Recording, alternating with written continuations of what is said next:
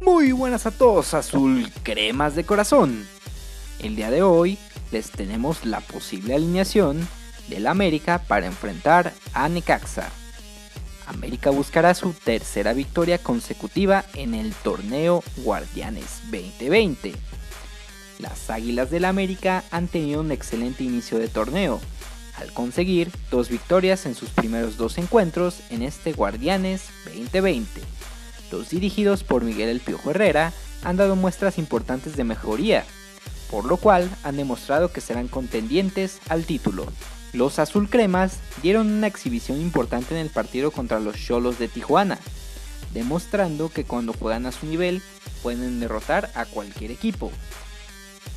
Es por eso que lo más probable es que Miguel Herrera dé continuidad al 11 que inició este partido.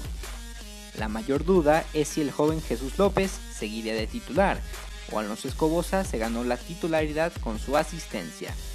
Igual, no se sabe si Santiago Cáceres volverá a ser titular, como en la jornada 1, o se le respetará el puesto al mexicano Rubén González, quien tuvo un buen juego también contra Cholos.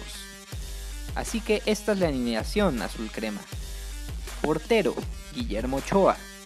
Defensas, Jorge Sánchez, Bruno Valdés, Sebastián Cáceres y Luis Reyes.